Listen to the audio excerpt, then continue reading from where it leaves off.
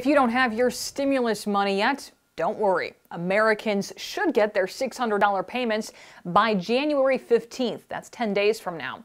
But if you're feeling uneasy about not seeing that money in your bank account yet, you can track the payment. The IRS has a tracking system set up on its website, and we have a link to that at WREX.com and on our WREX Facebook page.